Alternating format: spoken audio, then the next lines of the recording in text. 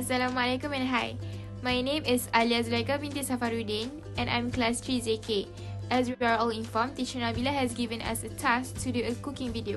So today, I'm going to share with all of you a very simple recipe of a pudding that my family and I usually make at home. I hope you guys will enjoy this video and you guys can give it a try. It's very simple and it's very easy. So here are the list of ingredients you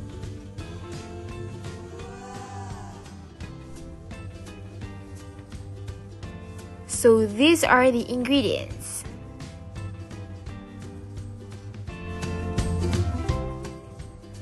Ten gram of jelly, three quarter cup of sugar, four cups of water, two tablespoon of custard flour, half can of evaporated milk, two eggs, and lastly 1 teaspoon of cocoa powder. For the first step, we have to wash the jelly, then boil it with 4 cups of water.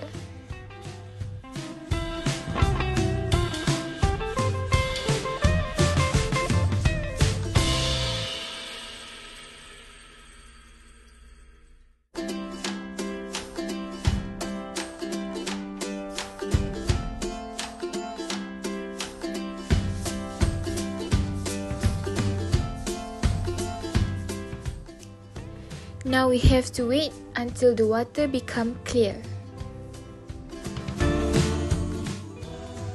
While waiting, now we can mix all the ingredients in a bowl.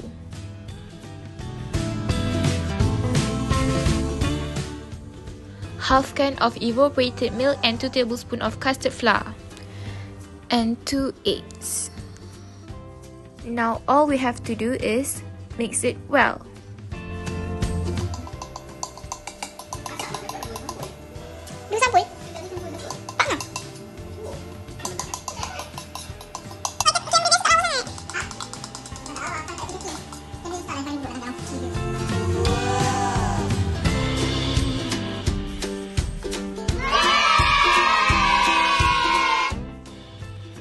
So now we have to pour the mixture that we made earlier and make sure you pour it gently.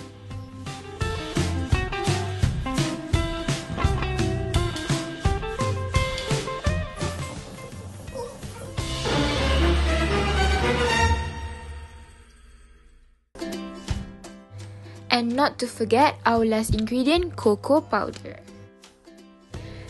Add some hot water.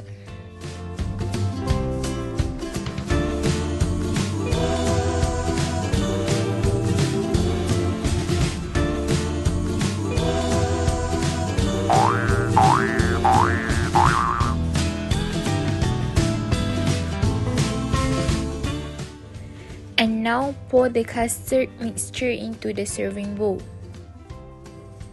The last step is to pour the liquid cocoa we made earlier on top of the custard and make any design you want.